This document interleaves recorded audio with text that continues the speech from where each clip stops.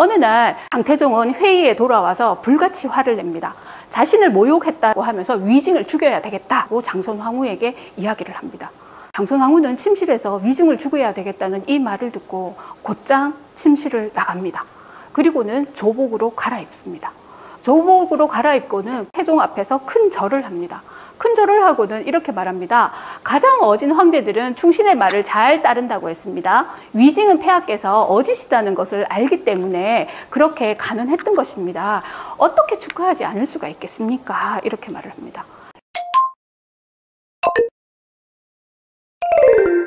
안녕하십니까. 박일숙의 역사 발전기 오늘 열 번째 시간입니다. 오늘 제가 준비한 내용은요, 명태조 마황우와 당태종 장손 황후에게 배우는 황제를 내조하는 법입니다. 여기는 중국 난징에 있는 매화공원이라는 곳입니다. 2월쯤이 되면 이렇게 아름다운 꽃들이 피거든요. 가기 전에 먼저 명소를 하나 소개해 드릴 건데요. 여기는 중국 난징입니다. 남경이라고도 하죠. 난징에 있는 아주 유명한 중산공원입니다. 여러분 선문 아십니까? 선문에 묘가 있는 곳입니다. 여기 안에 뭐가 있냐면 명효릉이라고 있습니다. 밍샤오링이라고도 하거든요. 이 명효릉을 가면 이렇게 실물 크기의 낙타 석상들이 있습니다. 뿐만 아니라 실물 크기의 코끼리 석상을 비롯해서 말이라든가 기린의 석상들이 도열해 있습니다. 이것은 명황제들의 등의 표본이 되는 것입니다.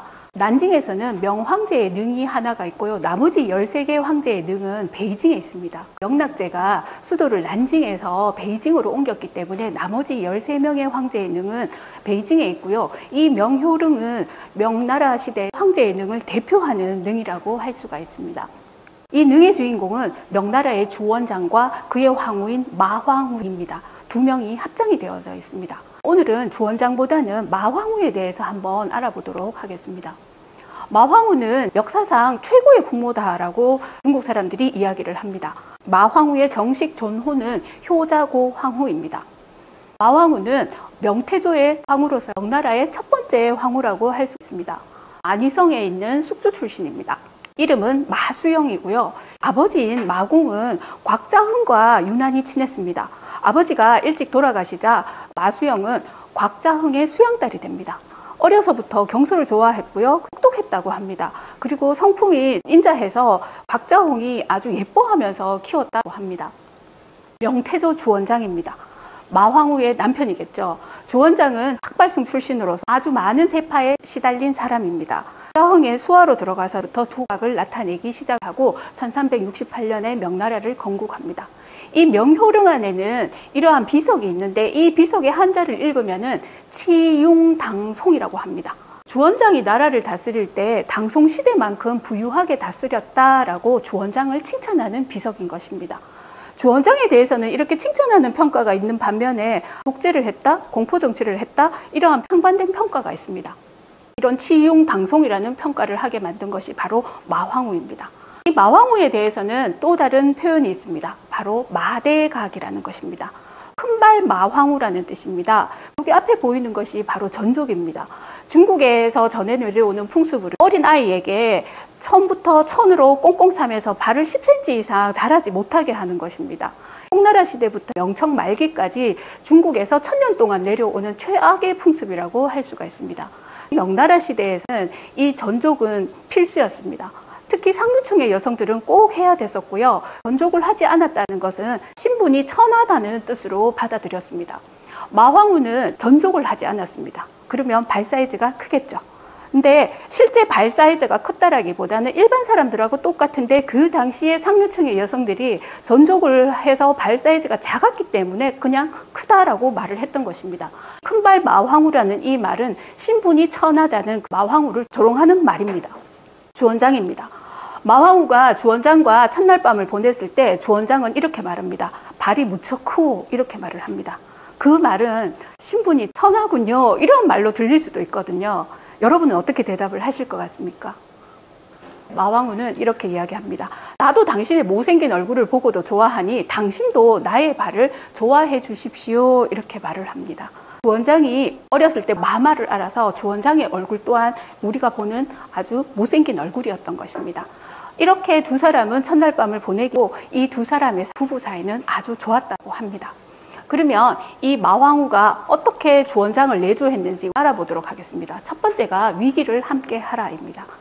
주원장은 곽자흥의 수하로 들어갑니다. 하지만 곽자흥은 다른 사람의 말을 쉽게 믿는 사람이었습니다. 그러다 보니까 주원장을 의심하는 일이 많았습니다. 왜냐하면 그 측근들이 시기와 질투를 하는 일이 많았겠죠. 그럴 때마다 이 마황우는 기지를 발휘해서 곽자흥의 신임을 얻게 하는 것입니다.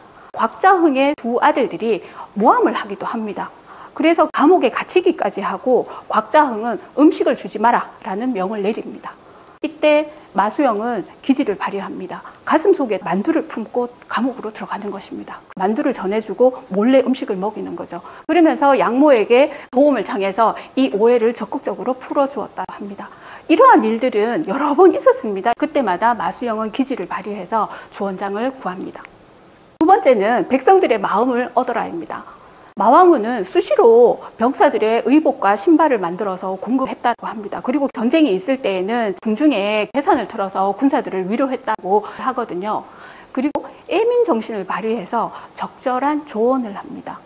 가능한 한 사람을 죽이지 말고 천하를 평정해야 한다고 이야기를 합니다. 주원장의 성격은 잔인하고 포악했습니다. 그래서 많은 사람을 죽일 수 있었겠죠. 그런데 가능한 한 사람을 죽이지 말고 천하를 평정해라라는 이 조언은 건국 초기에 민심을 얻는데 많은 도움이 됩니다. 중국의 풍습에 여기 보시는 것처럼 복자를 벽이라든가 문에 달아놓는 풍습이 있습니다. 다오푸라고 하는데요. 복을 가져온다, 복이 온다 이러한 뜻이거든요. 근데 이 복을 이렇게 바르게 달아놓기도 하지만 거꾸로 이렇게 붙이는 경우가 많습니다. 복이 거꾸로 쏟아진다 이런 뜻이거든요. 다오푸 뒤집다라는 거랑 동음이의어라고 봅니다. 이 풍습의 유래가 바로 마왕후에서 시작됐습니다. 황후의 발이 크다는 백성들의 조롱의 소리를 들었습니다. 화가 난 주원장은 이렇게 명령을 합니다. 나가서 복자가 거꾸로 쓰여진 집에 들어가서 그 자를 잡아오너라. 이렇게 명령을 합니다. 그러자 마왕우는 그 소식을 듣고 아래 사람들에게 몰래 시켜서 모든 도성 안에 복자를 거꾸로 달아놓게 합니다. 그러면 신하들이 이 사람을 잡으러 나갔을 때 누구의 집인지 모르겠죠. 그 이후로 사람들은 백성들을 생각하는 이 마음을 읽으면서 거꾸로 복을 달아두었더니 복이 온다라는 뜻에서 이 복자를 거꾸로 매달아두기 시작했다고 합니다. 51세의 이 마왕우는 죽음을 맞이하게 됩니다. 죽음을 맞이하는 그 순간에도 탕력을 거부합니다. 여러분, 왜 탕력을 거부했을까요? 자기 자신이 황후잖아요. 탕약을 먹고도 자기가 죽음을 맞이하면 남편인 주원장은 그 어이를 죽일 게 뻔했기 때문입니다. 사람의 목숨을 생각한 거죠. 자기 죽음으로 인해서 한 사람이 죽어야 된다라는 걸 생각을 한 거죠. 그래서 사람을 생각하는 그러한 마음이 강했습니다. 세 번째가 황제의 빈틈을 메우라입니다. 원장은 출신이 비천하고 가난하다 보니까 교육을 받지 못했습니다. 하지만 마수영은 어려서부터 경서를 읽는다든지 여러 가지 교양과 학식을 갖춘 사람이었습니다. 마수영은 큰일을 도모하려면 역사라든가 지리라든가 이러한 것을 알아야 된다고 생각을 했습니다. 그러면서 조원장에게 조언을 했겠죠. 조원장은 이것을 귀담아 듣습니다. 그리고 나서는 전쟁에 나가는 외의 시간에는 글을 읽는다든지 책을 읽는다든지 이러한 노력을 마수영의 의견을 받아들여서 아주 적극적으로 합니다. 마왕우가 가장 잘 했다고 평가받는 것이 있습니다. 바로 주원장의 무차별적인 숙청을 막았던 것입니다. 주원장은 성격이 잔인하고 포악하기로 유명했습니다. 거기에다가 독재 정치, 공포 정치로 많은 사람들을 무차별적으로 숙청을 합니다. 고위직 관리 기본이었고요. 장군이라든가 국자감의 학생들까지 거의 한 10만 명 정도가 죽어나갔다고 이야기를 하거든요. 그런데 이것을 잠재운 사람이 바로 마황우였습니다. 이렇게 충신들이 억울한 누명을 쓰고 마황우를 찾아오면 마황우는 신하들을 두둔하면서 일단 안정을 시킵니다. 그리고는 주원장을 설득하기 시작하는 거죠. 이 설득에 주원장이 숙청을 멈출 때도 있었지만 그대로 강행할 때도 있었습니다. 그럴 때는 마왕우는 시금을 전폐하면서 말리기도 했습니다. 이러한 행동들은 수많은 충신들의 목숨을 구하게 되고요. 이러한 미담들은 실제 백성들에게 퍼져나가게 되죠. 주원장의 두 얼굴입니다. 첫 번째가 사납고 포악한 얼굴이고 두 번째가 아주 인자한 황제의 얼굴이죠. 저는 황후의 공도 있었을 거라고 보거든요.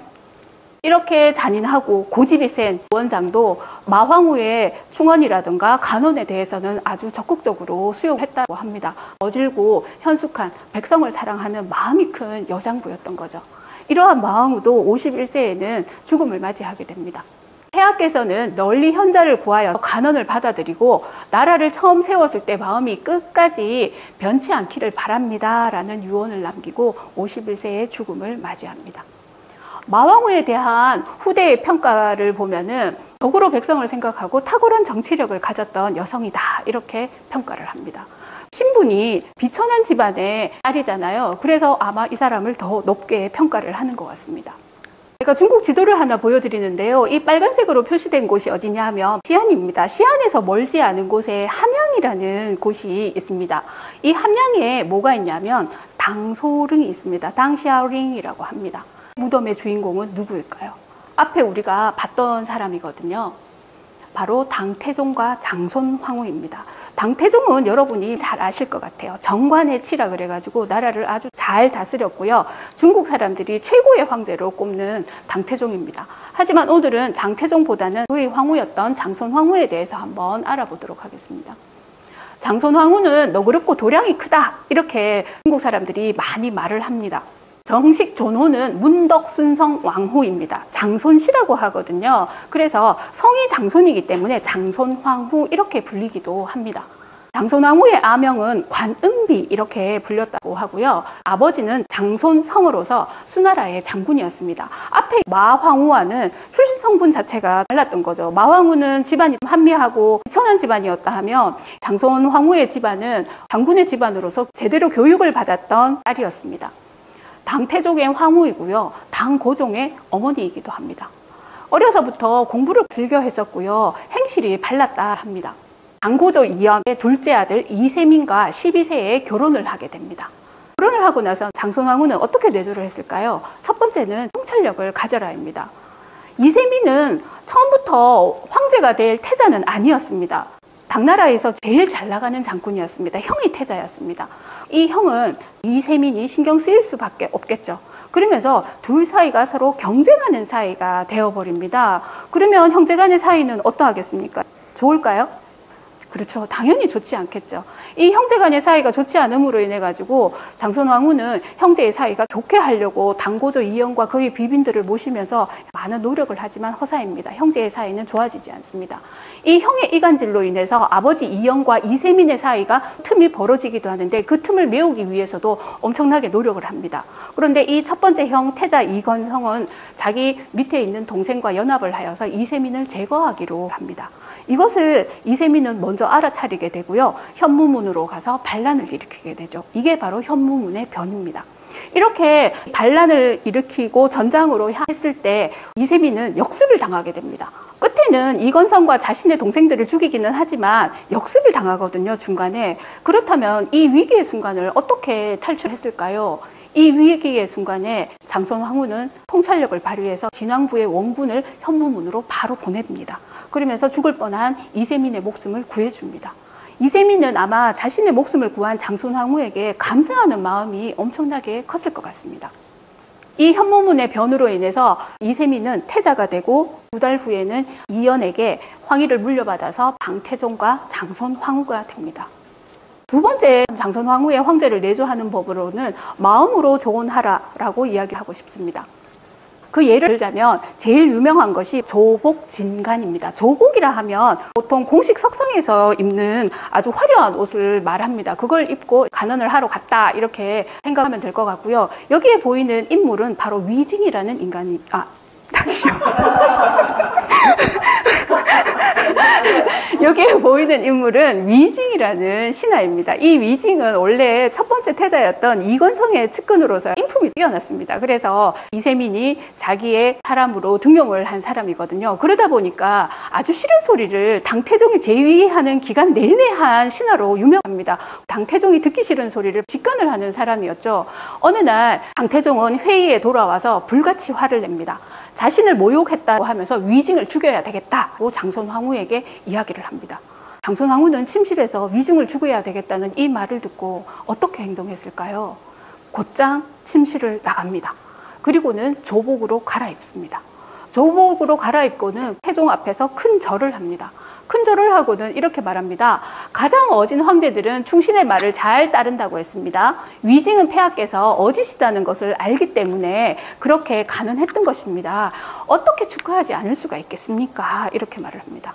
신하가 올바른 말을 할 수 있게 태종과 신하 간의 신뢰를 구축하는 역할을 하고 신하를 보호하는 역할을 했던 거죠. 장손왕후는 역사서라든가 이러한 책들을 많이 읽었다고 합니다. 그래서 태종에게 직접적으로 간언을 하고 내조를 하는 것보다는 옛 이야기라든가 역사 속의 인물이라든가 이러한 이야기를 통해서 태종 스스로가 깨우치고 판단을 하게끔 만들었다고 합니다. 본인이 직접 나서서 내조를 하지는 않았다는 거죠. 항상 뒤에 한 발짝 물러서서 이야기를 통해서 당태종이 깨달아서 선택을 하게끔 내조를 펼칩니다.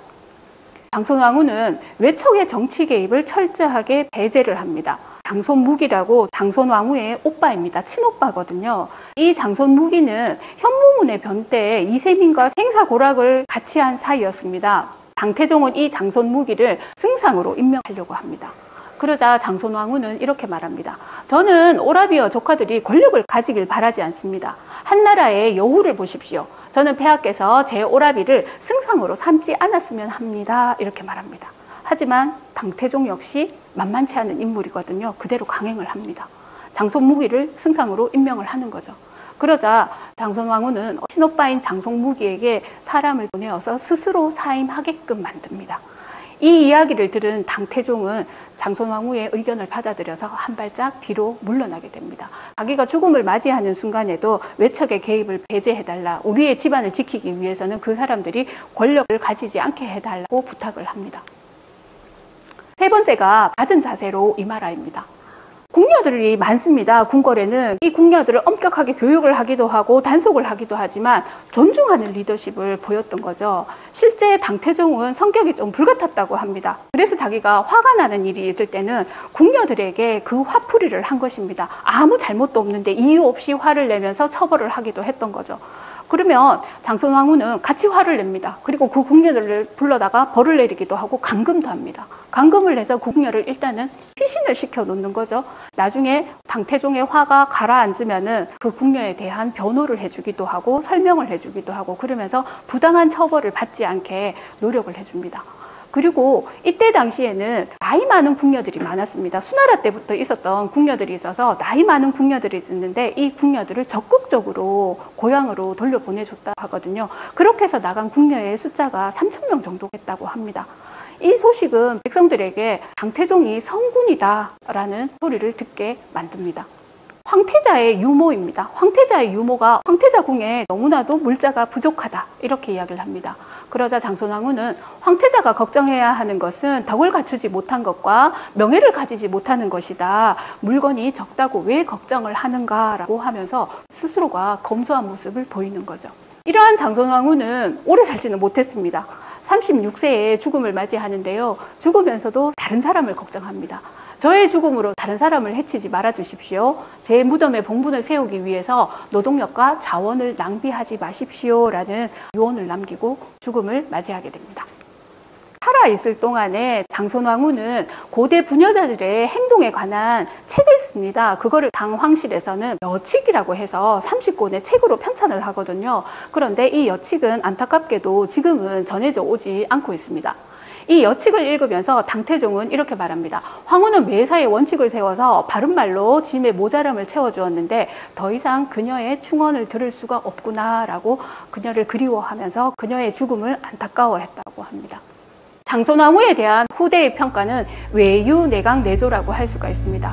겉으로는 부드럽지만 속으로는 강했다는 거죠. 문덕 장손왕후의 현명함과 행동은 모든 후세의 본보기가 되었다라고 평가를 합니다.